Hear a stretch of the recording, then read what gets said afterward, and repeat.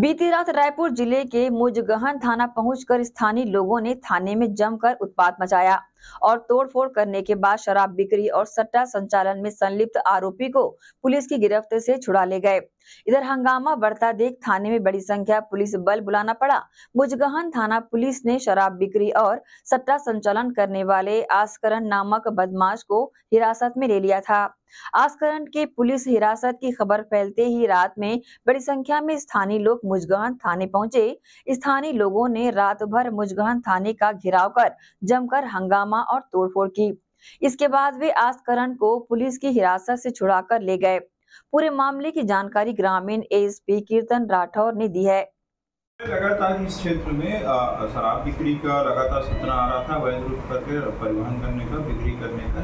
इसके लिए लगातार पुलिस के द्वारा जब से लगातार कार्रवाई आदरणीय एस एस पी सर के मार्गदर्शन एवं निर्देश किया जा रहा है और यही नहीं, पूरे जिला में कर रहे हैं। इसी तारतम्य में कल सलोनी गाँव के छोटू बंजारे उनके दो, तीन अन्य साथी हैं। उनके साथ शराब रखा हुआ पाया गया था। पुलिस टीम पहुँची थी, उसको लेकर आए थे, जिसके घटना पर जो गाँव वाले हैं, उनको विरोध करने के लिए आए थे, जिनको समझाई देकर वापस